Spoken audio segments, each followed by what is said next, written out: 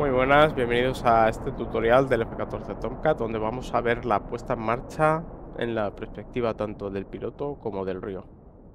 Bien, vamos con ello. El arranque desde el piloto es muy sencillo, la única, la única responsabilidad que tiene el piloto realmente es no, no olvidarse de armar el asiento de eyección y poco más, ir pidiendo los servicios que requiere. Bien, el avión, tal cual está ahora mismo, está lo que se dice eléctricamente, está muerto. No tiene corriente alguna en ninguno de los sistemas. Esto es porque el F-14 se diseñó sin sistema de baterías y demás, ¿vale? Como siempre es un avión que va a estar en portaaviones, siempre va a tener grupos de tierra para, para energizarlo. Bien, para energizarlo vamos al menú de comunicaciones, personal de tierra, grupo de tierra y conectar. Cuando esté modelado, si es que algún día lo modelan, aparecerá un grupo electrógeno aquí. Este grupo electrógeno es mm, del estilo de estos que hay por aquí, ¿vale? Y tiene una manguera que conecta directamente al avión. Nos transfiere eh, corriente alterna. Nos va a transferir en este caso 115 voltios, 400 eh, hercios. Estos generadores suelen ser de unos 30 a unos 50 kVA, eh, kilovoltio amperios, que es la medida de la unidad de potencia. Estos kilovoltio amperios no son mm, no son lo suficiente como para energizar el, el, avión entero, ¿vale? Pero sí para iniciar los sistemas principales. Entonces, esta corriente alterna va a entrar en los buses del avión, tiene dos buses, uno por cada motor y se va a distribuir como si fuera corriente generada por el, por el generador. Es decir, va a entrar al bus de alterna, va a pasar por los transformadores rectificadores que lo va a convertir esa corriente alterna en, en corriente continua de 28 voltios. Y después se van a energizar todos los sistemas principales que no requieren refrigeración, ya sea lámparas de emergencia, algunos indicadores o lectores, ¿vale? Bien, en... a esta altura del Early Access todavía no está modelado correctamente el arranque. Si bien nosotros venimos aquí, por ejemplo, podemos arrancar el, el HUD o el VDI, ¿vale? el repetidor. Veis que se energizan. Esto no debería ser así porque esto requiere refrigeración de la bahía de componentes electrónicos. Pero bueno, de momento lo podríamos hacer, no tiene repercusión. También más adelante implementarán el sistema de bits de, de comprobación de superficies y demás. Bien, hemos dicho que tenemos el jet conectado por corriente alterna y necesitamos, necesitamos un suministro neumático. Entonces nos vamos a el menú de comunicación, suministro de aire. Conectamos. Bien, este aire lo que va a hacer va a ser entrar en la etapa de, de alta presión de la turbina y va a empezar a girarla a unas RPM suficientes en las que si nosotros introducimos combustible, el proceso de, de arranque va a comenzar sin, sin problemas. También este aire comprimido lo que nos permitiría sería refrigerar todo el sistema de componentes electrónicos, entonces ahora sí que podríamos conectar las pantallas. Bien, tenemos ya el suministro neumático. Vamos a bajar el, la guardia del, del asiento. Y ahora sería hacer un flujo que viene de izquierda a derecha por todos los paneles, comprobando que tenemos todo correctamente. Y el arranque es muy, muy sencillo. En el momento en el que empecemos la motorización, Jester nos va a preguntar si, si inicia el arranque y demás. Como ya dijimos en, en el vídeo de, de, cabina, cuando empezamos a girar las, las turbinas con aire externo, ya empieza a comprimir, empieza, digamos, a energizar el sistema hidráulico. Pero no es, no es ningún problema si yo me equivoco, quiero arrancar el motor derecho y luego el izquierdo, luego el derecho, el derecho izquierdo, ¿vale? Veis que esto está parpadeando y luego se, se quita, no tiene repercusión. Lo único que ha hecho ha sido entrar aire en las turbinas, pero no tiene ninguna repercusión. Bien, en este caso vamos a arrancar a la derecha. a partir del 20% ya podemos podemos avanzar el throttle de la posición de idle y introducir combustible. Aquí tenemos lectura ya de, flujo de combustible e ir viendo los parámetros, que no se nos va mucho de temperatura.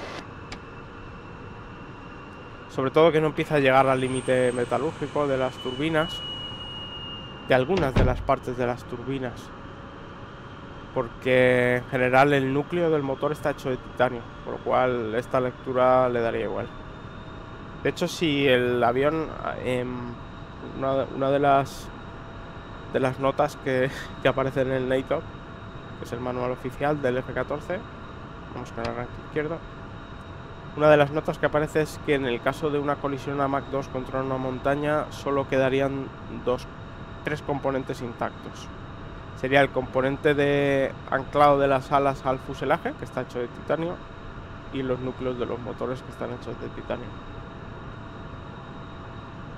Bien, vamos a avanzar. Oh, le da un botón que no es. Avanzamos.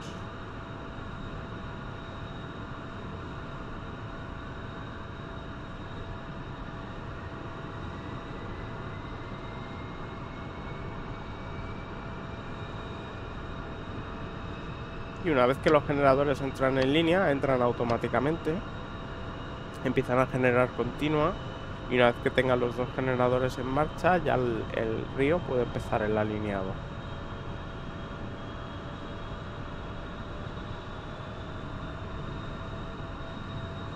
Bien, ya estaría arrancado. Vamos a hacer nuestro barrido de izquierda a derecha. Oxígeno. Si tuviéramos alguna frecuencia de TACAN que conectar, TACAN, transmitir, recibir. El TACAN lo tengo yo en piloto.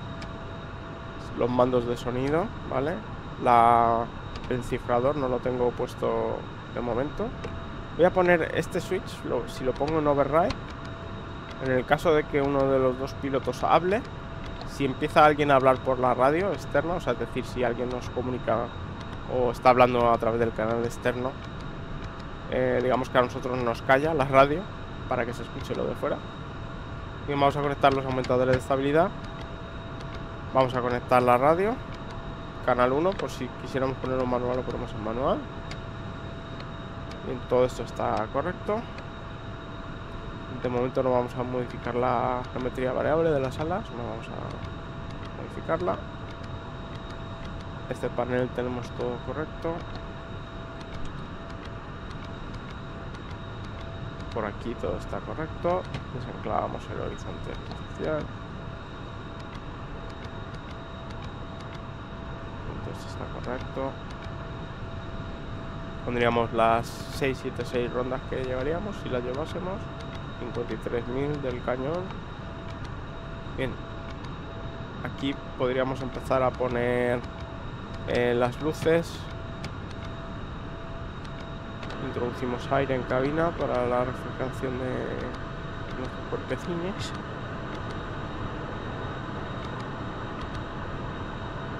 Y está todo ya seleccionado vale lo único que nos queda es arrancar las pantallas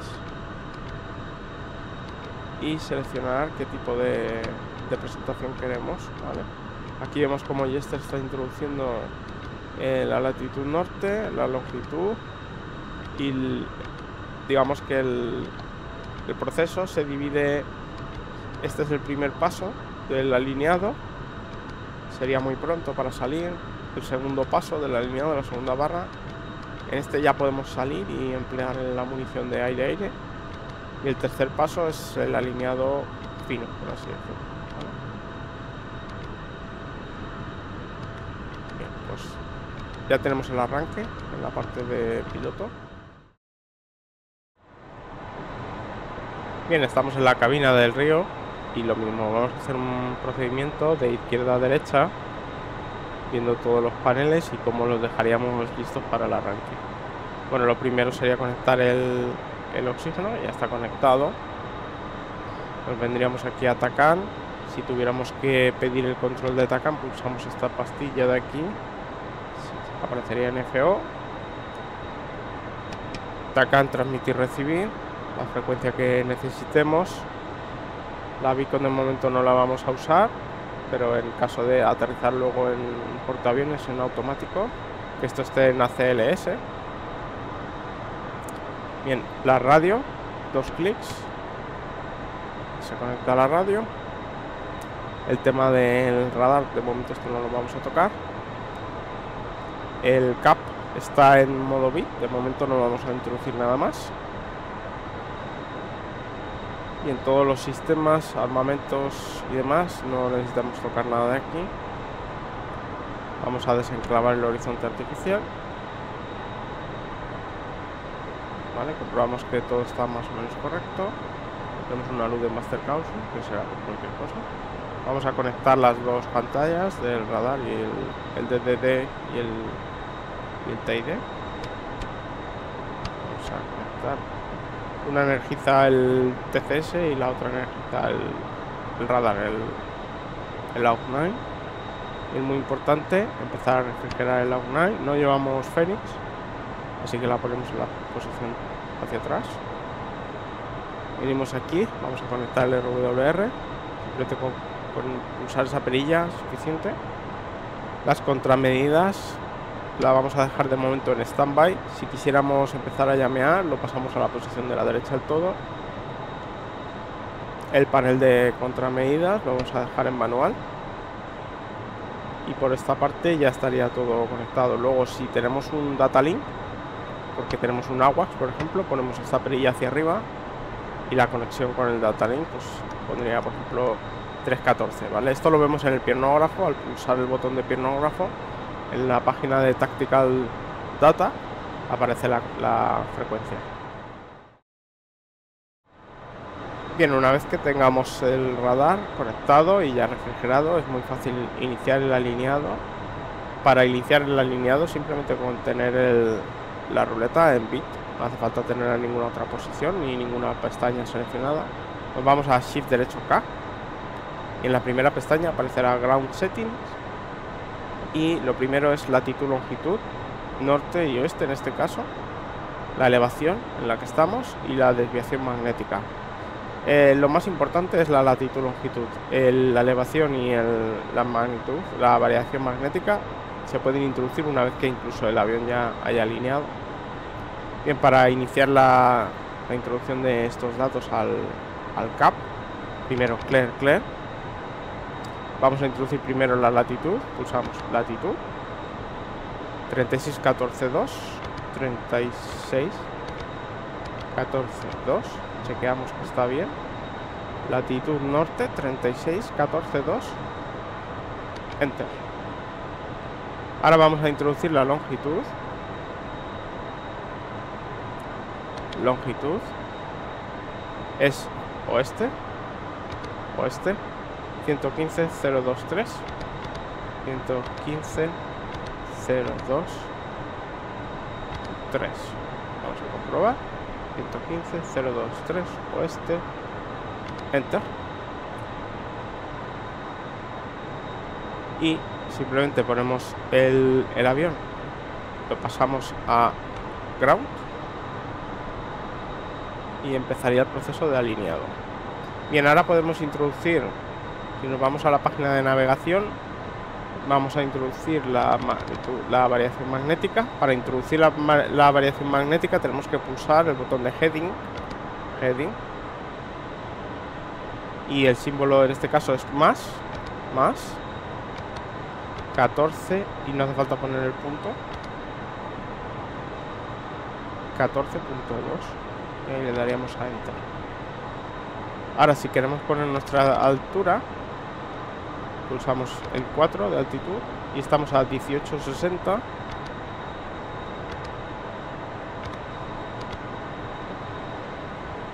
aquí vemos altura 1860 y pulsamos enter.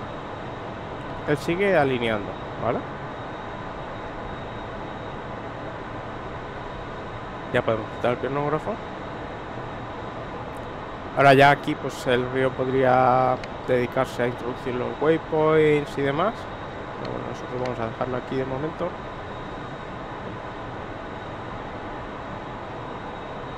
Y este es el arranque, digamos, largo. Si tuviésemos el, el store heading, es decir, el, el, rumbo guardado, muchos servidores multiplayer ya te viene el rumbo guardado para tardar mucho menos en arrancar. Todo se hace igual, salvo que no tenemos que introducir las coordenadas del avión, sino que nos, nos venimos a, la página de navegación y pulsamos el Store Heading Align, este de aquí. Y al pulsarlo, digamos que empieza la cuenta atrás con, la información que ya tiene el avión y es, es mucho más rápido. Pues aproximadamente tarda unos, unos 10 minutos en la línea. Vamos a esperar a que termine la línea.